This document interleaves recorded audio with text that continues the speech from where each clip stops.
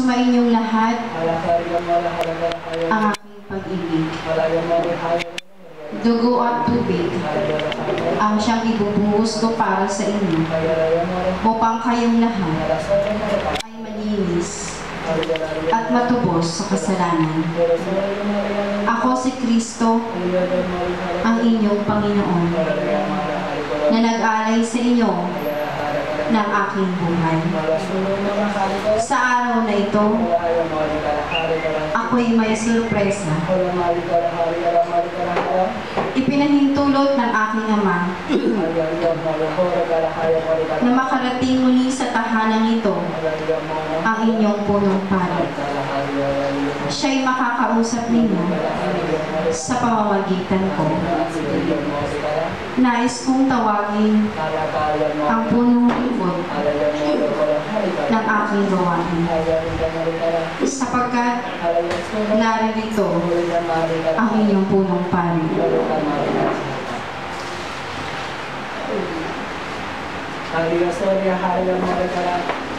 Ako,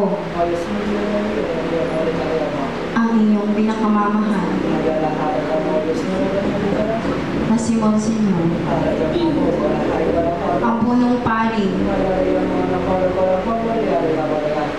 ipinagkatiwala ng Ama.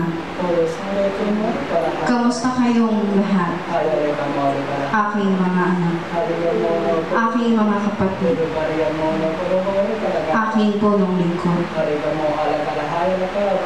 Ipinahintulot ng Ama sa langit ang aking panalangin. Nais ko lamang kayong batiin. Nais ko kayong kamustahin. Nais kong sabihin sa inyo na kasama ko na si Ama sa kanyang kaharian. Ako'y pinatawad sa aking mga kasalanan. Ako'y dinala ng mga anghel mula sa aking pagkakahimlay sa kanyang kaharian. Batid ba ninyo na kayo'y pinapanalangin ko sa araw-araw? At ako'y humihingi ng kapatawaran sa inyo sa aking mga nagawang kasalanan. Ngunit alam ko na iniibig ako ng komunidad na ito. Ang aking pagpapakumbaba ay lubos kong naunawaan na aking makaharap ang Ama sa langit sa kanyang hapagkainan. Ako'y maligaya na ngayon at parati ko kayong pinagdarasal sa araw-araw. Sinasamahan ko kayo sa lahat ng aking mga panalangin. Salamat sa inyong lahat. Ipagpatuloy ninyo ang aking naiwang gawain sapagkat matutupad ang lahat ng aking sinabi. Ito ang pangako ng Ama sa akin at hanggang ngayon pinanghahawakan ko sapagkat kayo'y patuloy na sumusunod. Huwag ninyong iiwanan ang gawain na ito sapagkat ang nakatakda ay nakatakda. Salamat sa iyo, aming punong lingkod, sapagkat nananatili kang tapat sa akin. Hindi mo inaalintana ang lahat ng bagay laban sa aking pangalan. Salamat sa iyong pagmamahal. Salamat sa lahat ng hipong iyong ginawa sa aking mga katawan. Salamat sa iyong pagtsatsaga. Salamat sa kalungkutang ibinahagi mo nang ako'y kinuhanan ng Diyos. Ngunit ang kagalakan ay nasa aking puso at nananatili hanggang sa buhay na walang hanggan. Mari ko bang tawagin ang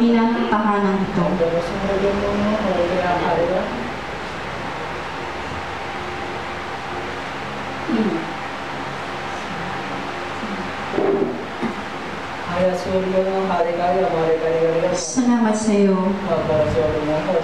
Ikaw ang isa sa pundasyon ng gawain itinatag ni Ama dito sa mundo. Ako'y nag-iisa rin na kagaya mo. Nais ko lang sabihin sa'yo na magpakatatag ka at manatili kang ina ng komunidad na ito. Batid ko ang ating usapan ay natatandaan mo pa na mananatili tayo sa gawain ito hanggang sa mawala na ang ating buhay. Patuloy kang naniniwala sa punong likod. Gayon din. Hindi ko man kayo nakausap nang ako'y bawian ng nangininga dito sa mundo.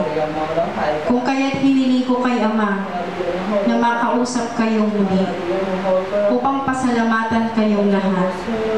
At nais kong malaman ninyo kasama ko si Ama sa langit. Patuloy akong nagdarasal. Patuloy kong inililapit ang inyong mga pangalan sa Kanya upang maging matatag kayong harapin ang lahat ng pagsubok. Sinasamahan ko kayo at ako'y naririto. Kaya di sa ina ng komunidad na ito na pinagkatiwalaan ng Ama na isa sa pundasyon ng gawain na ito. Huwag matakot sapagkat kasama mo ako sa panalangin. Manatili ka kasama ng mga banal na mga kapatid na kasama ko sa langit. Kami nagagalak sa inyong katatagan. Kami nagagalak sa inyong paniniwala kay Yahweh na ating Ama. Manatili kayo sa Ama. At ako ay isang tunay na patotoo na ang Diyos na sinasamba ninyo sa tahanan na ito ay Diyos na buhay. Kung kaya't ako'y naririto at nagbibigay ng aking bahagi, bahagi ng aking pag-ibig. Itinatatak ko ang aking pangalan sa gawain ito sapagkat ako ay ang punong pari ng komunidad na ito. Huwag kayong mag-alala, hindi man kayo tanggap ng mga tao, ngunit ang Ama ang gagawa ng paraan upang kayo ay tanggapin sa loob ng kanyang tahanan. Mananatili kayong tapat sapagkat ginagabayan kayo ng Espiritu Santo. Salamat sa inyong lahat, sa inyong pag-aalaga sa akin. Salamat sa pagtitimpla ninyo ng kape. Salamat sa paghipo ninyo sa aking katawan. Salamat at naging pa ako kayo. Salamat at naging kamay. Salamat at naging mata ko kayong lahat. Iniibig ko kayong lahat, aking mga kapatid, aking mga anak, hanggang sa muli nating pagkikita sa kaharian ng Diyos. Tayong magsasama-sama, magpurit magpasalamat sa ating amang pinalilingkuran. Salamat sa inyong dalawa. Nawa ay samahan ninyo ang mga anak kong naririto sa gawain ng Ama. Humayo kayo. Maraming salamat sa inyo. Hanggang sa muling pagkikita natin, aking mga kapatid kay Kristo. Ayumali po kami ng Pinoy.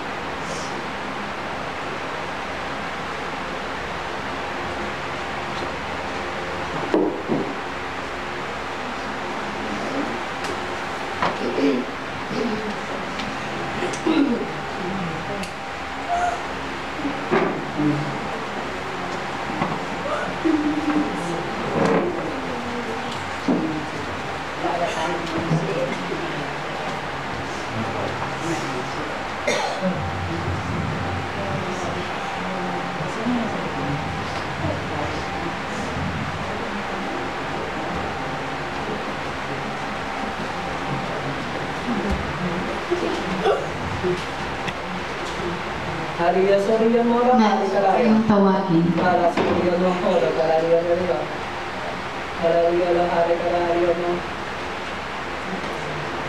Salamat sa inyong dalawa sapagkat sa pamamagitan ko, nakilala ninyo ang Ama. Salamat at nanatili kayo sa gawain aking ipinakilala upang magkaroon kayo ng masaganang buhay.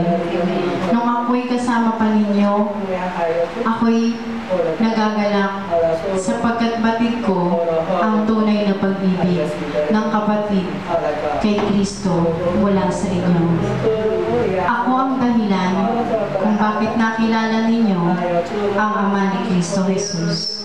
Kaya manatili kayo sa Kanya at makakaasa kayo magkikita tayong muli sa Kanyang kaharian. Huwag kayong mag-alala, ipinagdarasal ko kayo sa Ama.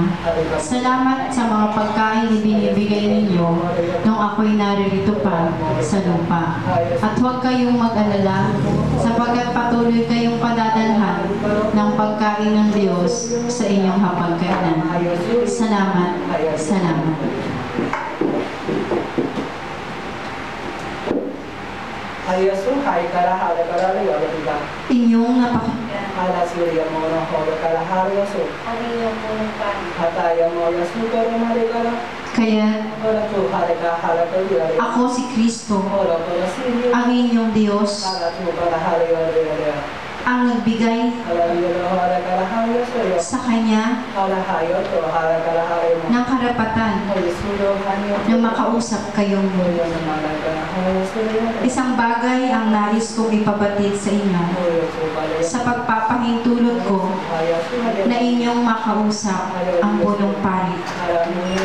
Na sa kaharian ng aking Ama ay bagong buhay kung saan kayo magpupurit magpapasalamat. Siya ay isang halimbawa ng pagbibigay ng kanyang buhay nung siya'y naririto pa sa lupa. Sa pagsunod sa utos ng aking Ama sa langit, nakamit niya ang buhay na walang hanggan. Kaya't kayo na mga lingkod ng Diyos, huwag kayong mag-aalala, puno man ng pasakit, puno man ng paghihinagpis, puno man ng pangungutya, ng pag-uusig ng inyong mga kapatid. Kayo'y makakaasa ng maligayang buhay at masayang buhay sa piling ng aking Ama. Kaya kayong lahat, katulad ng inyong Panginoon, maglingkod kayo ng may buong pagpapakumbaba kung saan ko tinanggap ang lahat pasakit, kung saan ako nagdala ng isang mabigat na krus sa aking balikat. Gayon din ang inyong gawin.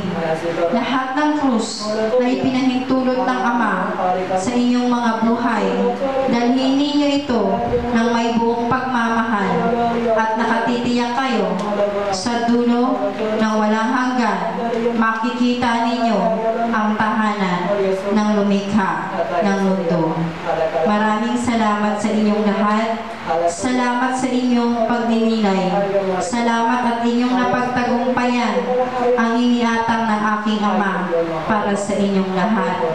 Hindi man kayo tanggap ng simbahan, hindi man kayo tanggap ng mga lingkod, makakaasa kayo na aking Ama ang nagtalaga sa inyo sa kanyang gawain. Kaya, maligaya ang Diyos. Nagpapasalamat ako sa inyo sapagkat hindi ninyo hinahanap ang papuri ng tao. Bagkos, ang papuri ng aking Ama sa langit ang higit ninyong inaasa.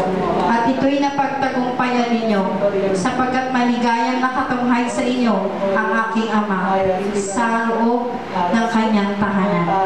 Maligaya ako, nakita ko kayo roon. Maligaya ako't nakangiti sapagkat para sa inyo ang gawain iyon. Nakatakda iyon para sa inyo. Kung kaya kayo pinapunta ng aking Ama sa langit. Mapalad kayo mga anak sapagkat dininig ninyo ang aking panawagan. Salamat sa inyo. Mabuhay kayong lahat sa grasya ng Diyos. Salamat mga anak. Salamat.